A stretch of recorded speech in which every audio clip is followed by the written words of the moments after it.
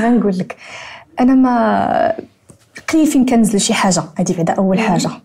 أنا قليلة الظهور. مرتبطة فقط بالميدان الفني؟ أه، voilà. أنا إلا دخلتي لو compte Instagram ديالي غتلقيني كاتبة فنانة مغربية. اذا عندي واحد الهدف معين كنزلو. كنغني. آه ربما كنلقى des messages آه عافاك ناهيد غني لنا هاد الأغنية ممكن نسمعها بصوتك. كندير فيديو راه بحال اللي اللي شفتي كنغني أغنية. آه مرة مرة كنطلع بدي لايف وشنو كيبان لك في الفنانات ولا الفنانين اللي هما كيستعنوا أيضا بالإنستغرام؟ من ناحيه لا شوفي بنتي ديال الصراحه وكتهضري وداك الشيء بحرقه على الميدان الفني واخا أنا أنا أنا عجبتيني انت عجبتيني انت انت يا غزالة ما شاء الله شوفي نقول لك آه كل وشنو عطاه الله؟ ياك.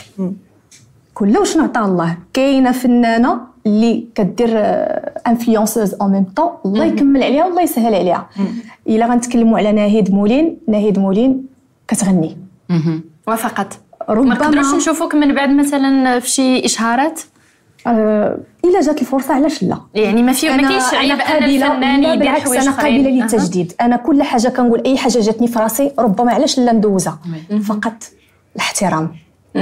كنامن بالاحترام أنا من الصباح وأنا كنسمع النقاء والاحترام اي آه، شي زوين النقاء والاحترام شي حاجة اللي زوينة بزاف. يعني آه، على غرار سائر الفنانات المبتدئات آه، كنعرفوا أنه الطريق ديال la carrière ديالكم مفرش بالورود.